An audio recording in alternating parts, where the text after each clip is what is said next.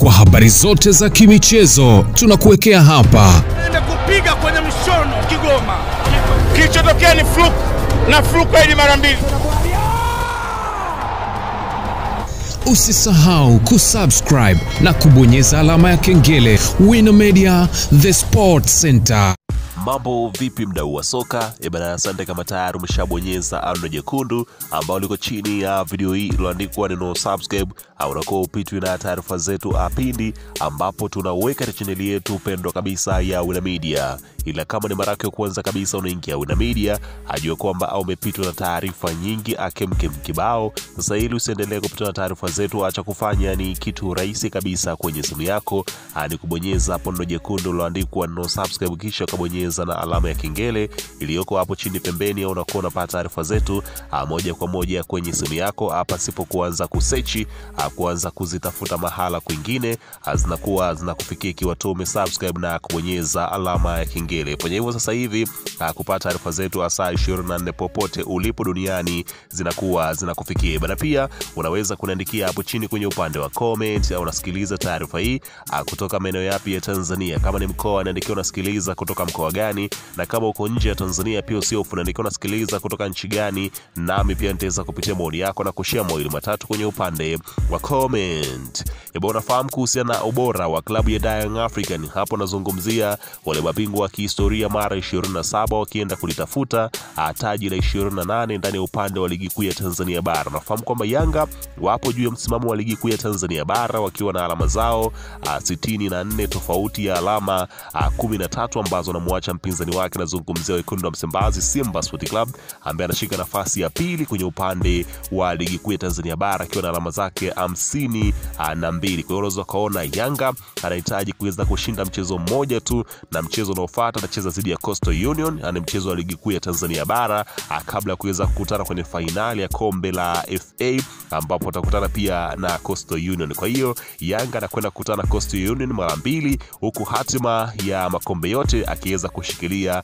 uh, Coastal Union. Kwa hiyo kama Yanga akiweza kufanikiwa kuweza kumfunga uh, Coastal Union kwenye mchezo wa ligi kuu ya Tanzania bara ujao, basi anakwenda kutangaza ubingwa wa ligi kuu ya Tanzania bara. Asiposhinda basi mchezo ujao atapaswa kuweza kushinda ili aweze kutangaza ubingwa huo uh, kwa mara ya 28. Sasa ukiachana hivyo, nafahamu Yanga kuna wachezaji ambao mikataba yao inaelekea ukingoni na wengine tayari imeshaweza kumalizika na wengine wakiweza kushuhudia wakiweza kuagwa rasmi kabisa kuweza kuondoka ndani ya kikosi uh, cha Yanga. Miongoni mwa wachezaji ambao wameweza kuondoka tayari ni Saidon Tibazonkiza ambaye mkataba wake ulikuwa ukiweza kumalizika na pande zote mbili hazikuweza kufikia makubaliano. Sasa leo hii pia uh, mwingine ambao mkataba wake umeelekea na umeshafika ukingoni, hapo nazungumzia si mwingine ni Faridi uh, Musa Marik. Unafahamu bora wake moja kati ya vijana ambao wanaopiga mwingi kwelikweli ndani ya kikosi cha klabu ya Young Africa. Unafahamu kwamba Faridi Musa a, baada ya kuweza kurudi a, kutoka kule,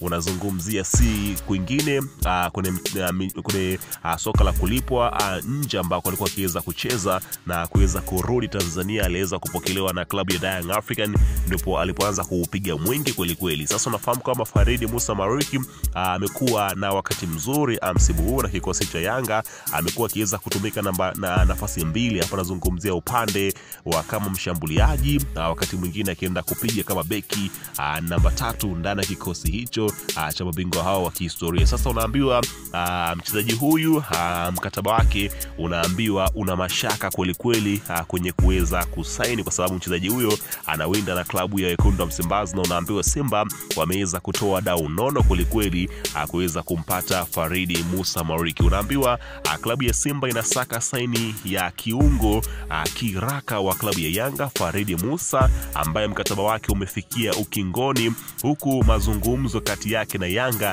yakiendelea. Hata hivyo, unaambiwa Simba wamemwahidi donge nono endapo atasaini na klabu hiyo, pamoja na kumpa mkataba wa miaka mitatu kuweza kuitumikia wekundu wa Msimbazi. Kumbuka Simba wanasaka saini za wachezaji mahiri kutoka sehemu tofauti tofauti kwa ajili ya kuweza kukiimarisha kikosi chao ambao kimeonekana kudhorota kwenye msimu huu na kufanya vibaya kwenye makombe yao matatu tatu: kombe la shirikisho barani Afrika, kombe la ligi kuu ya Tanzania bara, kombe la Azam Sport Federation Cup.